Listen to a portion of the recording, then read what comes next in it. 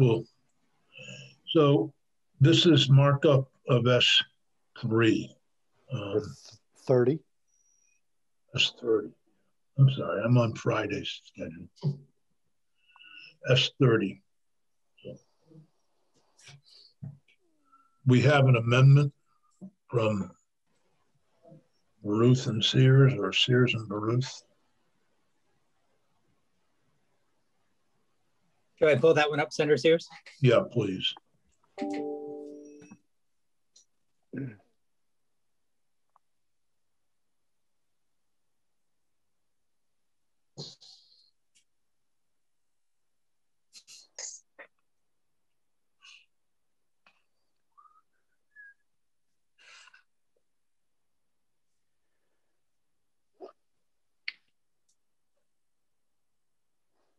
Is everyone able to see the amendment?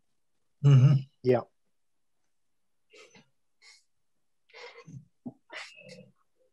Shall I walk through the changes, Senator Sears? Yep. Okay. So uh, for the record, Eric Fitzpatrick with the Office of Legislative Counsel here to walk the committee through version 2.1 of uh, Senators Baruth and Senator Sears' proposed amendment to S30. You recall the discussion last time, and this is the bill that um, in its current form prohibits possession of firearms in hospital buildings.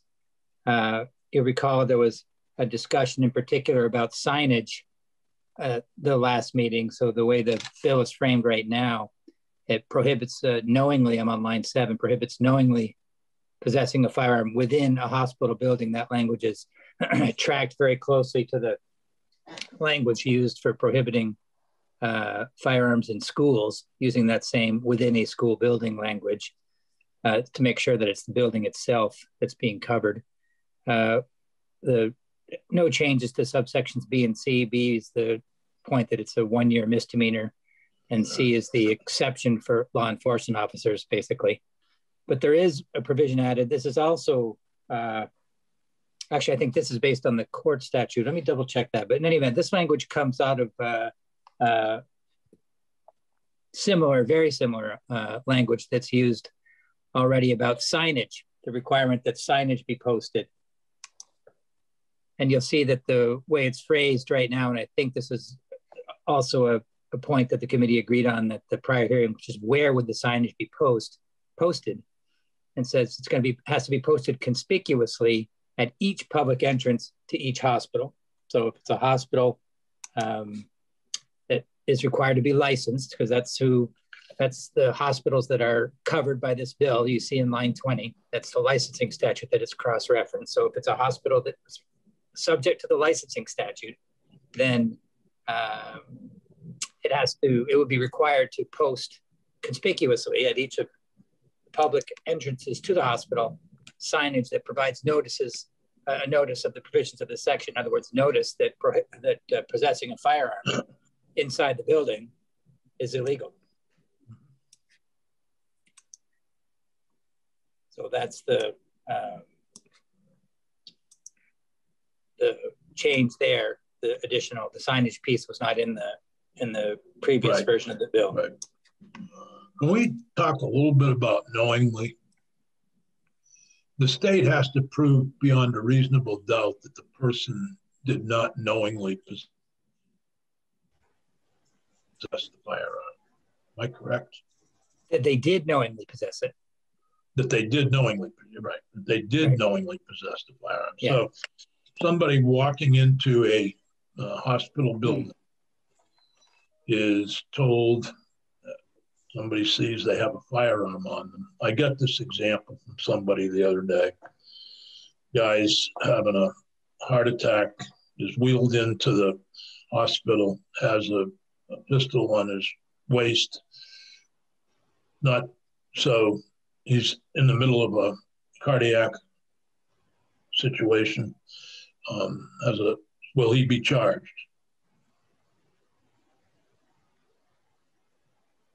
I guess that's the question. Would he could he be charged? And the answer is how would they prove that he knowingly was carrying it in when he was coming in for another reason? And may have been unconscious. Yeah, I would think if the person is unconscious, then then knowingly would be virtually impossible to prove. But uh, the facts and circumstances surrounding each individual case would there, ha- there has to be some evidence that the person knew they had it. And that's a, it's the burden of the state to prove that. And if the person's un- unconscious, it's hard to see how they would have any evidence that they knew when they came into the building that they had a fire.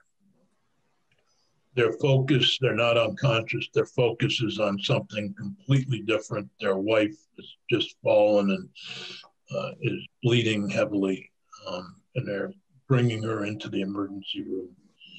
Um, they happen to have a firearm on them. Did they knowingly bring it in? Again, it, it would depend on on to what extent they they knew they had it prior to the stressful event, and then the the uh, I would presume the defendant would argue that uh, you know they were no longer because of the high stress, the the duress, the duress of the event. And Eric, um, yeah. if if I could just check if my understanding is correct. So let's imagine somebody who's conscious and they're going in to visit a family member and they've got a gun on their hip and they're just not aware of it because they've had it there all day and they are informed by somebody and they say oh gosh i didn't realize that seems to me on its face evidence that they didn't knowingly do it and it would be difficult to prosecute them if they leave when they're when they're told. Is that correct? Yeah i think that's a fair point. Okay. thank you. Um,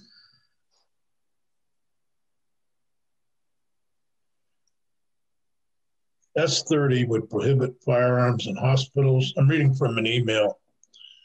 Actually, it's a form email. It's against S30 and H133. Um, but I'll only read the part about S30 since we haven't seen S1, H133. S30 would prohibit firearms in hospitals, public buildings, and daycare centers. This bill has hit several snags along the way as witness after witness pointed to problems with the ill conceived bill. Furthermore, current trespass law easily allows for issues related to these facilities to be addressed. Um, I'm not asking anyone to, uh, I'm not asking you, Eric. I would like to go back over the trespass laws again and why this would be different than somebody who um, current trespass laws easily allows for issues related to these facilities to be addressed. That statement. I thought we had discussed prior in committee time and time again how illegal trespass works versus how this bill would work. Um, and my understanding is that if we were to prohibit within a hospital building um, if we were not to do this and somebody's carrying a firearm into a hospital building, um, it creates it illegally rather than an illegal trespass. They have to be notified and then have to come back in, right? Am I correct? Is that the discussion? Are you asking me, Senator Sears? I'm asking anyone. Um, okay. Wasn't that the discussion that if if there's a sign up that says you can't bring a firearm into this building. Mm-hmm. The person brings a firearm to the build into the building. They're told that they cannot come in with a firearm. To charge them with illegal trespass, they would have to refuse to leave, or they would have to. I'm not taking wit, uh, witnesses from outside the committee. This thing is just um, trying to understand the difference between the two. You're right about that. It's they would have to refuse to leave. Someone the difference is that uh, someone has to notify the person that continuing to stay on the property would be trespass. And then, and then if they, re- if they refuse to leave, they can be charged. So that's, that's the distinction. Right. Thank you. Thank you. So I'm just trying to make sure I understand. So can this I is pitiful. Uh, can I ask a question, Senator Sears? Yeah, sure. So just what Eric's describing. So you're describing Eric how it would how it works presently, or are you describing how it would be under the proposed bill? In other words, if I understand it correctly, if they come in under the proposed bill and there's a notice outside, that they don't have to be even asked to leave. They it's just a matter of it wouldn't be a trespass anymore. You'd simply be violating the law and could be arrested. Nobody has to ask you to leave. Correct. That's yeah. exactly right, Senator Nitka. So what I was describing was the process under the trespass law. Yes. And and what you've described is how it would be different under this bill. That's exactly right. No one has to notify the person of anything. The the bringing of the firearm uh, into the building is is uh, mm-hmm. unlawful immediately. Yeah. Mr. Chair. Yes, Senator Baruth. Um, so uh, just a couple of thoughts to add on the trespass piece. So, um, you know, courthouses and schools are already covered by state law prohibiting firearms. They're the two locations where we've done that. And the trespass statute was in place when each of those were enacted. And those legislatures considered the trespass statute and other existing law insufficient for the purpose they had in mind. Um, I think we've had enough discussion to reach the same point here. So my my question is, um, if the trespass statute is sufficient, why wasn't it deemed sufficient in the case of schools and and courthouses? And the answer for me is what we've seen all over the country, where the trespass statute in different states is being used to deal with the masking issue in in stores, let's let's say. So people go into Home Depot without a mask and they're being asked to leave under the trespass statute. And first of all, that means that the employees are having to deal with the arguments and the violence. But it also, um, in each of those cases, if you look, every one of those anti mask people argues that the trespass statute is not enough authority that there's no state law or there's no federal law prohibiting them from coming in. So this is a, a way to make it just abundantly clear and to provide an additional level of protection uh, so you don't have the arguments. Because as we had testimony from that doctor who said that they had had arguments and had to involve personnel in them, uh, which took them away from their duties. So that's kind of my frame for the why the trespass statute doesn't work.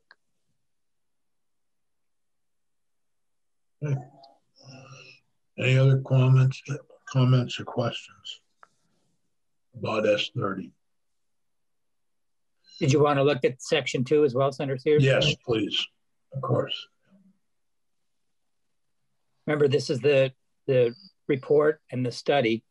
Uh, think that you'll see pretty obviously the the change here is that the uh, as drafted in the in the previous amendment, the cap, excuse me, sorry, the Capitol Complex Security Advisory Committee was going to report to Justice Oversight on uh, the regulation of weapons in the State House. You'll see that on line six, as well as uh, other places in the in the amendment and the proposal is to expand that to um, to not just be a consideration of weapons in the state house, but to consider the Capitol complex. So that's the other than that, it's the same. It's that the the Capitol complex advisory committee is going to study uh, the same substantive, the same three substantive uh, issues that the committee had laid out, which is uh, how possession of weapons, uh, in this case at the Capitol complex, is currently regulated including Rule 26 of the joint rules, describe situations when, when folks had impermissibly possessed weapons at the Capitol complex in the past, how they were handled, and make any recommendation about how how the issue of weapons at the Capitol complex should be addressed in legislation. I should say whether and how. So if they if they conclude that legislation would be necessary, they could make that recommendation, but they, they might not necessarily reach that conclusion. Um, so that's the the uh, report to Justice Oversight. The, again, the change being from the State House to the Capitol complex, which is already defined mm-hmm. elsewhere in statute. Just a reminder here too that the that the uh, Capitol complex advisory committee is supposed to sunset, so we have to make sure that I think I think in the capital bill that sunset is going to be either extended or repealed. So we'll we'll have to keep an eye on that as well. Uh, Joe, is that um, accurate to your mind? Do you think it's likely to be extended? Yeah, I think it's likely to be extended. Um, we haven't done it officially yet, but all signs are pointing in that direction.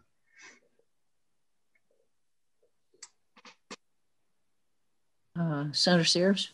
Yes, Senator Nick. So I remember um, we had testimony from Matt Valerio with regard to making this study committee similar to the bill, and it would have, he had suggested, I believe, changing possession of weapons to possession of firearms. Do you recall that discussion? Uh, you probably have better memory than I on that, um, but that's fine. I would be okay with that. I'm just thinking of the the sign currently out front does say weapons, I believe. Um, it does, but but I, you know, I I think the primary concern is firearms. Senator Sears, is this the time when we're having a committee discussion on this bill? Absolutely. Okay. Um, first, I want to say I appreciate the amendment uh, narrowing down the scope of the original bill. I think that's an important step. Um, and it gives me the impression that people are trying to reach a common ground. I still feel like I need to oppose if this becomes um, part of the bill and it gets voted out of committee. I'd like to confine my remarks here to what the two provisions of this amendment would now be. Um, I think Philip is has expressed the uh, two thoughts really. One is that we've done this in schools and we've done it in courthouses, and therefore this is okay. To me, that uh, brings the testimony of our former page, Lily, can't remember her last name, saying this is the next step. And I think it's fair to say that this next step is a continuing series of steps. And it turns the question of where can I self defend on its head to say, why should you need to practice self defense at this location or that location? The description of masks and arguments over masks is, I think, very important because we are seeing all kinds of disputes in all kinds of places with people who are frustrated about various things. And we have a next step here that continues the conversation about where you should be prohibited from practicing the art of self defense, which is a constitutional right. And that really does concern me. I don't want to get upset and fly off the handle or accuse people of anything, but it is a path that is pretty obvious one of the things that we heard originally about why the hospital section would be necessary was the shooting that took place at Dartmouth. Um, I, I, was thinking that perhaps we were going to hear more evidence about that along the way, and I didn't hear any evidence. So I spent a little time on the internet looking up the case and trying to figure out what that case was all about.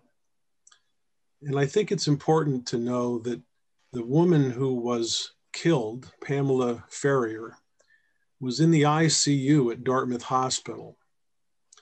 Um, her son was an individual who had serious problems before he ever got to the hospital.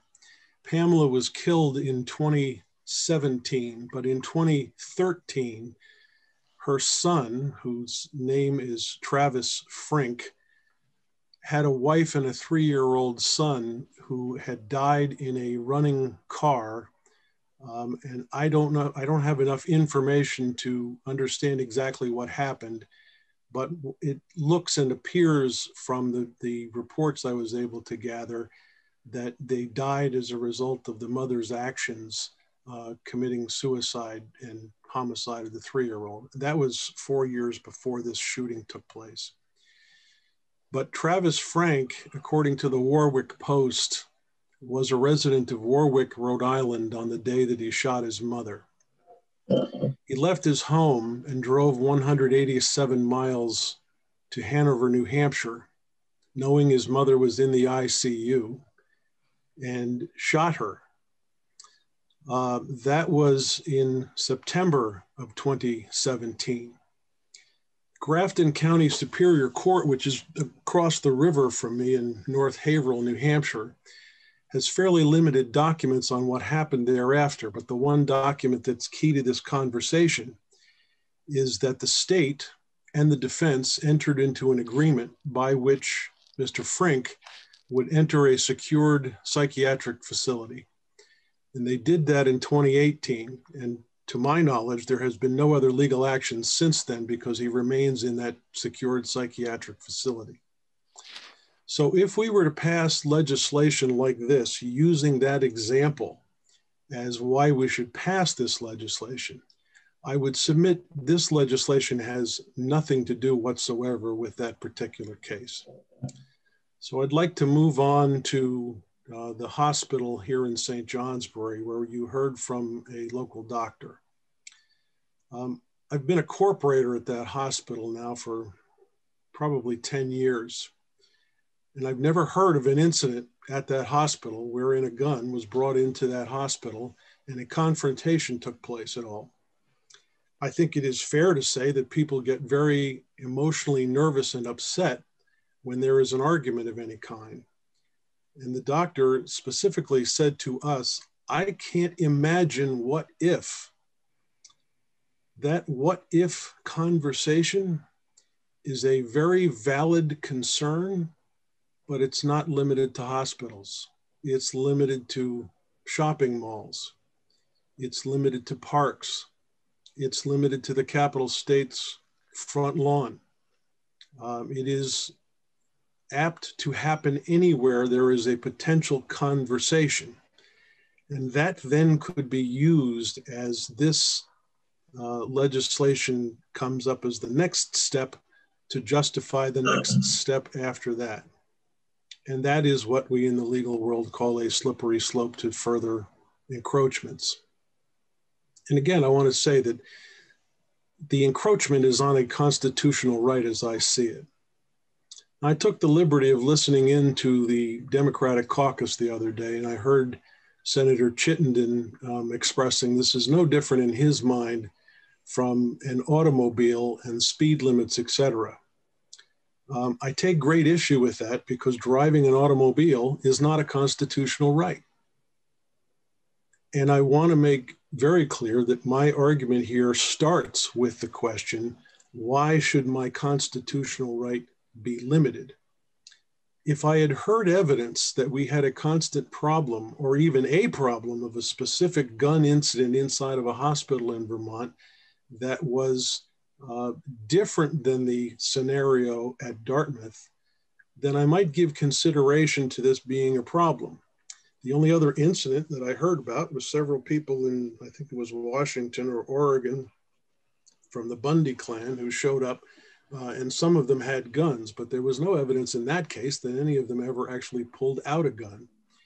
Were they intimidating people with the presence of a gun on their persons? Sure, I'm, I'm confident that happened.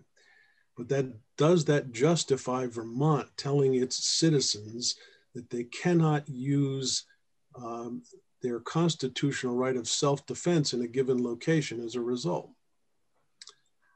Um, I want to shift now to the second portion of this amendment. The Capitol Complex Security Commission uh, has several law enforcement individuals on it. It also has the chairs of both the House and Senate institutions committees. At the present moment, I believe I'm the chair of that commission committee. Um, two of the people who are also on that committee are Mike Schirling and Matt Romei.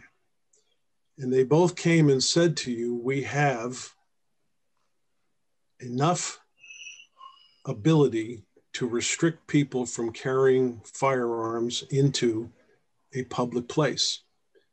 We haven't had a problem with those things. And we don't see a need for this because it's redundant. Can I ask that uh, visitors please turn their video off? Senator um, Bill Moore, if you could turn your video off. Thank you. Joe, sorry for the interruption. Sure. I, I come back to this question. If they already believe that they have the power to eject someone from a place that is adequately signed saying you should not be here, why then would we set them in motion to come back to us with a report which they are pretty clear, at least in my mind, telling us this is something that we don't need to do. So I guess I'll pause there and um, say I appreciate again the fact that we're trying to narrow down um, to something that is more palatable for all sides. I may, in fact, end up voting for the amendment, but I would still come back voting against the bill. And I just want to make clear that this is the kind of bill I would probably feel uh, responsible to my constituency to stand up on the floor and make an argument about it. I just want to give the committee a heads up about that. Appreciate that, Joe. Senator Baruth.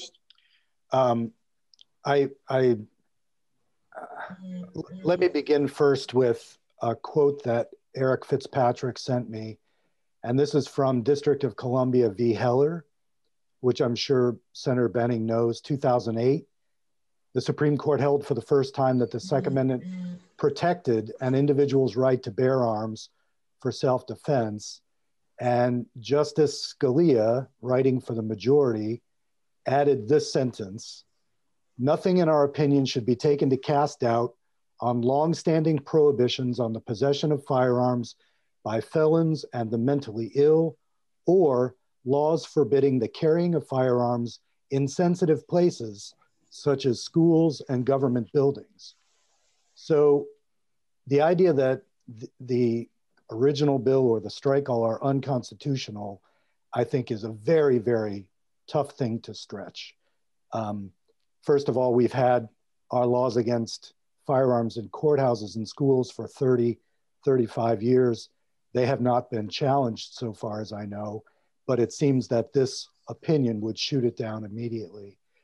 Um, I want to go next to, um, I'm, I, I guess I'm continuing to be mystified, Joe, uh, in your approach to the incident at Dartmouth.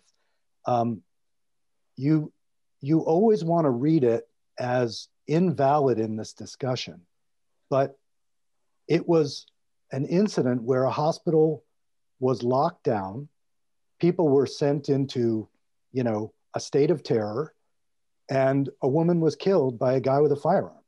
So I, I, I continue to be confused why you want to act as though some circumstance, for instance, that the guy was a citizen of Rhode Island, would mitigate the problem. And and I would add to that, um, you know, we did have testimony about incidents where doctors had to argue with people who had brought guns into the hospital. That was testimony that we had. And we had testimony from a high school student who was an intern or a candy striper at Dartmouth during the lockdown. So our testimony from the hospitals, including I would imagine your own, because we were told it was a unanimous opinion. All the hospitals, all the doctors, the health association, the nurses support the strike all. So um, I, I understand the slippery slope argument. It is made every time a gun bill is advanced. All I would say in this case is it's not a very slippery slope if it takes 30 years to go from two locations to three. I think you raise a fair question, Philip, and I'd, I'd like to respond, Dick, if I may.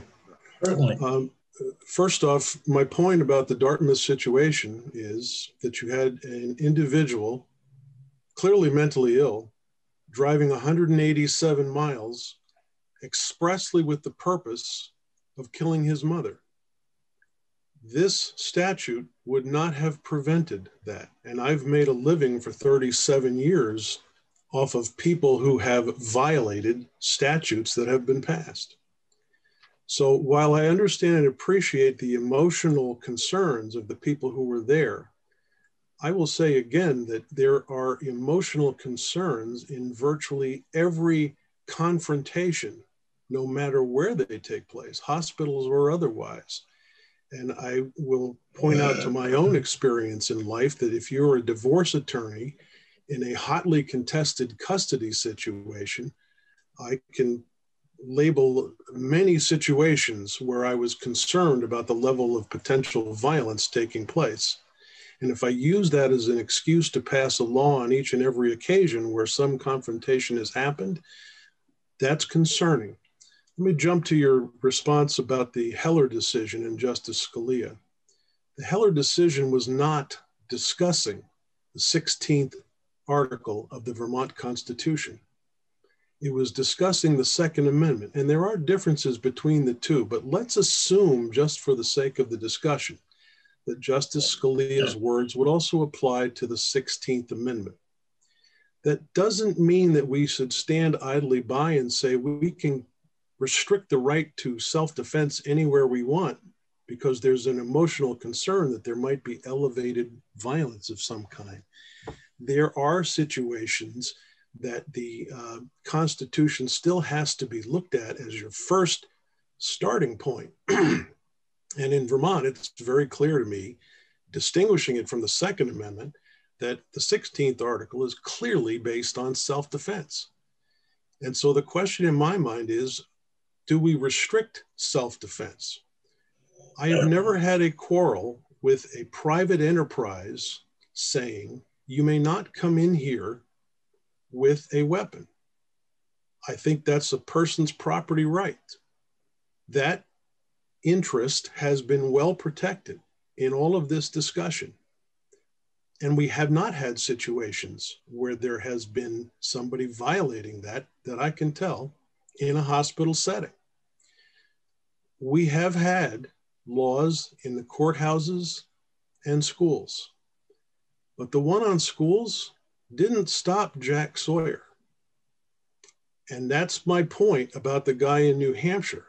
Somebody who is mentally ill, bent on nefarious intent, is not going to respond to this. But those people who are not intending nefarious intent will be swept up in a new crime that we are creating. But Joe, and that's where I'm concerned. When we pass laws, we we never use the standard anywhere. else. Thank you, Mr. Chair. Um, we never use the standard anywhere else that a given law has to stop 100% of the behavior at issue. So, for instance, we have a lot of drug laws. No one reasonably expects that that's going to stop 100% of drug trafficking in Vermont. What we're trying to do is set a very clear statewide standard, communicate our values broadly to our people, so that we mm-hmm. reduce that behavior by as much as possible. That has worked, I would argue, very well with schools and courthouses. We, we had testimony that people can't remember when someone was prosecuted for bringing a gun into a school. And that's because everyone knows now that you can't do it. And if they do it by mistake, the knowingly language protects them. So, you know, you can always find a case where someone used a gun in spite of a law, or someone sold drugs in spite of a law, or speed over the limit on the highway. But uh, that's not really, you know, 100% uh, compliance isn't what any law is going to achieve. We're hoping for a broad cultural agreement that hospitals are a protected location. Leave your guns at home. I respect that, Philip, and I will say that um, we have not had any evidence of something in schools, except for Jack Sawyer, which everybody knows. We have not had any evidence at all in any Vermont hospital that I'm aware of that a situation has arisen where we need to create a new crime on the basis of no evidence. That's very troubling to me. Understood. Okay. Um, I, uh, I appreciate the discussion and the, I'm going to call it a debate. Um, actually, it wasn't 30 years ago because I was here when we did the courts and I was here when we did the schools. 93, I think. Yeah. Um, it was, I was new here. Um, I believe my recollection, there were similar discussions. However, um, I want to talk a little bit about how I got here. And I really don't care if the study's in or not, frankly. That's not my. Um, when we took up this bill, and it had three components to it, really. One was government buildings, two was um, child care centers, um, and the final, obviously, was hospitals. I was skeptical, to say the least, about uh, about about a, a number of things, but I listened to the testimony. I was convinced by Commissioner Brown that things would get really messy if we tried to do this in child care centers because of the agreements. I think his quote was the agreements between the, the licensee and the state licensing department in terms of all of these requirements for not having firearms available to the kids, etc. so his testimony I thought was really compelling. When we got to the government buildings, I realized that it was, and I did hear from a number of communities who wanted us to do the government buildings, but I also heard the argument from some, and I was thinking of my own town of Readsboro that I represent, where it is 45 minutes. If, if something happened at that town office and unless the troopers were on the road, talking 45 minutes to get there from Shasta, or maybe a little longer from the other side in Westminster. So you know, I, I, was concerned about that. Um, and but I, I heard the concerns of the treasurer, the attorney general, the secretary of state, and the auditor of accounts. So that that's really the where the capital complex came in. When I heard the people from the hospitals, um, what I heard was vulnerable people are being treated in hospitals. Unpredictable things go on every day in hospitals whether they be mental health patients, whether they be cardiac arrest patients, whether they be somebody who's injured in a fall or somebody injured by an industrial accident or whatever. and I also heard that it's not unusual for frontline staff in Vermont to be assaulted. Joe's correct. I didn't hear about firearms being used to carry out those assaults. But again, not unusual for frontline staff to be assaulted. So I kind of settled on hospitals as being a place, and I had actually had that conversation over a year ago um, about why is it that we would allow in hospitals. So that's how I got here, and that's why I would support S30 with the hospitals. Um, and uh, you know, that's where I'm at. Um, if an amendment was on the floor, to add others, I would oppose it. And I would oppose the bill. I don't know that there'll be any amendments. I hope there aren't, but um, I want to make that clear. If I'm voting for hospitals and hospitals only, and if the study's there, the study's there. If it's not there, it doesn't matter to me. Um, but I just got convinced by the doctors, convinced by the medical society and others. My position. Anybody else? Who, Alice, did you want to comment? Um, yes, I'd like to say that um, I, I would make a motion to change the um, weapons to firearms just as a as a minor change to the study. Mm -hmm. Is there or not? But I would make that motion to change it, which was the suggestion of Matt Valerio, the Defender General. I agree. You agree with that, Philip? Okay. That's fine with me. Any objection? Anyway, and additionally, um, uh, I quite frankly think we should wait for um, our other member and that we're only a committee of only five when one person is missing on a bill that is um, so important in any in both directions uh, that we should wait until tomorrow morning to see if um, Senator White would be here to vote with us.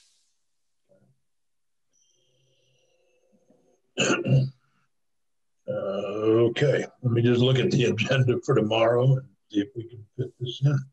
I think that's actually probably a fairly good suggestion. Right now on the agenda, we have from 8.30 to 10.45 devoted to S3. Well, doesn't sound like S3 will take all that time. So yeah. let's uh, let's try to hope um, put S30 in. We're at 9:15. Um,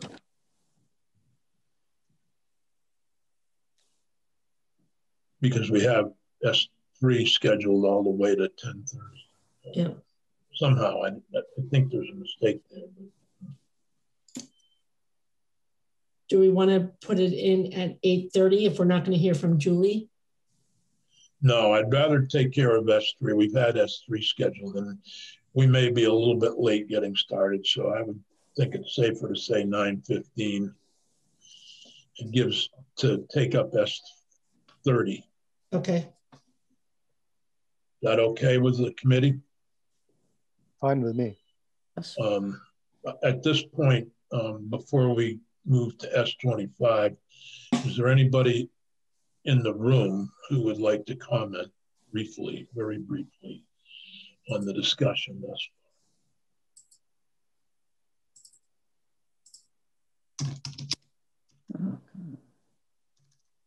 I may, I do just, yeah. Thank you. Um, Devon Green, Vermont Association of Hospitals and Health Systems, just to um, clarify what I was talking about with testifying um, earlier on an example. We did have an example of someone bringing a firearm into a hospital. This was at Copley Hospital. A nurse confronted the person and asked them to put the firearm in the car. The person argued about their um, about their Second Amendment right and refused to do so. And the ED director had to go over and um, work with the person. It took several minutes and those are several minutes that are very precious in an emergency department, um, which could differentiate hospitals from other areas, as well as the fact that when there is a gun in a hospital and an active shooter, hospitals need to get locked down, and that means people get diverted to other hospitals. And that also takes precious time and could affect um, outcomes and be a life or death situation. Thank you. Anybody else? Bill Moore? You have your hand up. Bill? Yeah, I just I just wanted to add a great discussion. It's um, it's still deeply concerning to me. Um, aside from people who are unconscious or debilitated as they're being brought into a hospital, that um, this may end up being um, inconsistently applied depending on the institution. Um, one institution may simply call the police when they see a, handgun and a open holster, and another may just say, "Hey, did you see the sign?" when the person leaves. So I'm concerned about inconsistent application. I understand that discretion applies for the cops and the prosecutors. Is, is, is it's already out there, but I just wanted to reiterate that concern. Thank you. You're welcome. Anybody else? Eric, thank you. Just a quick question, Senator Sears. Uh, I think I heard the committee agreeing to change the study from weapons to firearms for purposes of the draft you're going to vote on tomorrow. I just want to make sure. That's correct. Yeah. Yes, we have agreed on that. Okay, thanks. Um, I guess one final question, if you could, um, is intent anywhere in any of the laws regarding firearms um, in, in um, schools or in courthouses? Is there any, is there a, any intent language? Yes, I believe it's, I believe it's in both, but I'll double check. Could, could we have copies of the intent language as a possible um, I'd like to know what the intent language is in the hospital, in the in the schools and in the courts. I believe it's. I'll send it to you, but it's it's exactly the same. It just says a person who intentionally has the weapon there. But I'll double check. We're using the term knowingly, are we not? We're using no. Oh, I'm sorry. I'm sorry. I meant knowingly. Oh, okay. There is no intentional language in either of those. Correct. I I okay. misspoke. Sorry. Okay. Thank you. Okay. Good. We're going to take another three seconds. There's no need to go offline, Peggy. We're just going to. Can, uh, can we? Uh, to, yeah, I'm sorry. Could we make it a five minute break? Um, we could make it a. Uh, Chris Bradley, had, did you have a comment briefly? Um, I believe in 4004, Senator Sears, Chris Bradley, Vermont Federation of Sportsmen's Clubs, there is intent language in 4004. I'd have to check the court, but I know there's knowing and intent in two separate sections of 4004. Okay, thank you. Thank you very much. Can we check that on that, Eric, anywhere? Yes, I'm pulling it up right now. Okay. Um, why don't we, we'll come back to this tomorrow morning at 9.15. We're going to take a five minute break and take up S25, which has to do with cannabis. And I hope we will get to miscellaneous judiciary.